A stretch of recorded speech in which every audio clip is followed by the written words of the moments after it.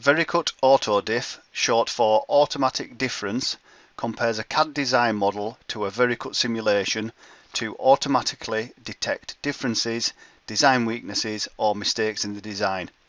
With AutoDiff, anyone involved in the manufacturing process can identify an incorrectly processed job. From design to finished part, the design will be handled by different people, departments, companies and CAD-CAM systems. In the end, it is very difficult to verify whether the NC program accurately reflects the original model. Without AutoDiff, the only way to be sure is to cut the part and carry out an initial inspection. By comparing the simulated model with the original model using AutoDiff, you can see if the NC program really matches the constructed original model. This reduces the time it takes to cut the first production worthy part.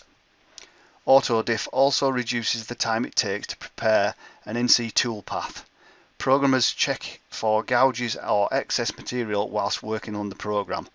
Problems are then identified and corrected before machining. Solid or surface models from most CAD-CAM systems can be used. The design model is compared to the simulated machine part to identify gouges and excess material.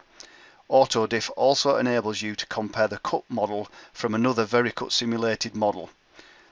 This function is useful for comparing different operations such as roughing cuts and finish cuts.